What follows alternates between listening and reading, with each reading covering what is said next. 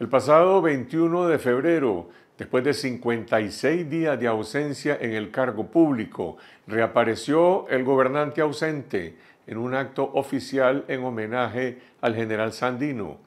En 2023, Daniel Ortega compareció únicamente en 31 eventos públicos, incluyendo un viaje a Cuba. Dos de estos eventos en que presidió el ritual de actos ceremoniales del poder ocurrieron el mismo día, de manera que solo se le vio 28 días en todo el año.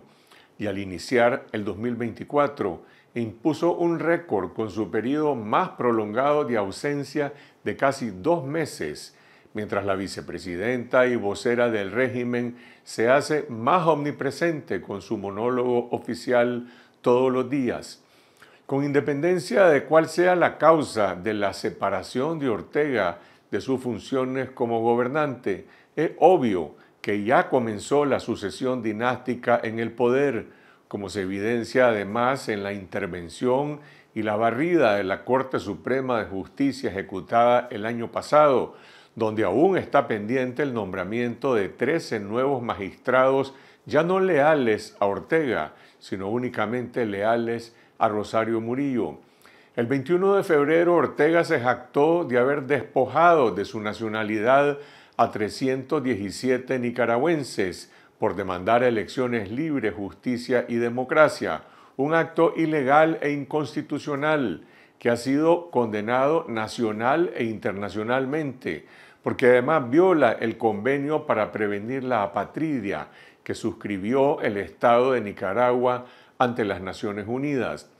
Ortega intentó justificar la apatridia leyendo un manifiesto del general Sandino de 1927, pero en realidad en quien se ha inspirado es en el dictador chileno Augusto Pinochet, uno de los pocos gobernantes latinoamericanos que en 1976 despojó de su nacionalidad a una decena de sus conciudadanos, entre ellos al ex canciller Orlando Letelier, que fue asesinado en Washington ese mismo año en un acto terrorista patrocinado por Pinochet. El dictador nicaragüense ha superado con creces al dictador chileno al despojar no a 10 personas como Pinochet, sino a 317 en Nicaragua, quizás porque su afán de odio y venganza es incluso mayor y aún más irracional que el de la dictadura militar chilena. Pero además de despojar a los nicaragüenses de su nacionalidad, Ortega ha convertido a Nicaragua en un refugio de corruptos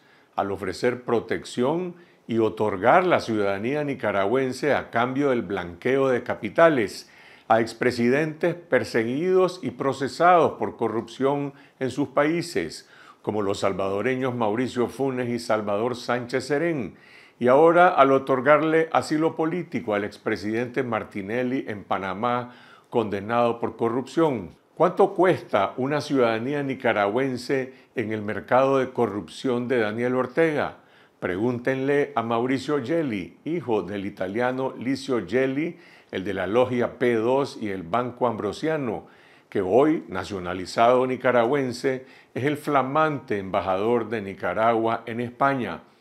De manera que cuando Ortega se mofa de los 110 nicaragüenses que hemos recibido la ciudadanía española, lo que hace es burlarse de sus propios partidarios al degradar aún más la institución presidencial y al mismo tiempo enaltece el extraordinario gesto de solidaridad de España que pone en evidencia la persecución política de su dictadura.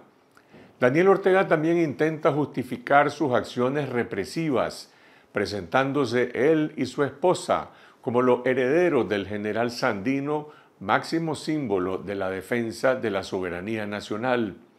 Pero todo el mundo sabe, incluyendo a los mismos sandinistas partidarios de Ortega, que con la ley 840 del canal interoceánico, la ley Ortega-Juan, que fue promulgada en 2013, Ortega hipotecó por 100 años la soberanía nacional al entregar el territorio nacional al empresario chino Wang Jing para la supuesta construcción del canal y para una decena de su proyecto en cualquier parte del territorio nacional. Y a pesar del fracaso y la estafa del proyecto canalero, esa ley aún sigue viva al día de hoy. Por eso cuando Ortega dice, ahora sí vamos a hacer el canal, aludiendo a su alianza con la República Popular China, significa más corrupción, significa la amenaza de un despojo masivo de propiedades y más tráfico de influencias. Y fue precisamente en otro aniversario del general Sandino,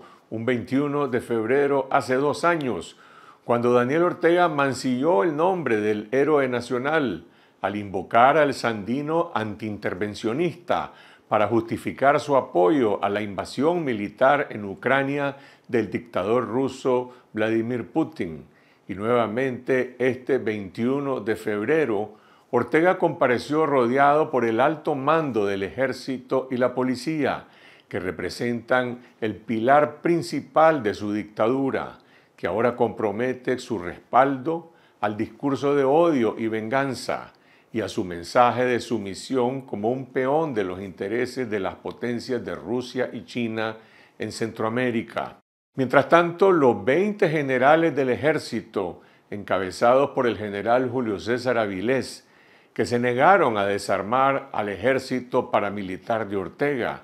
y que durante más de una década han representado el tapón institucional en el ejército que impide el ascenso de los oficiales en la carrera militar,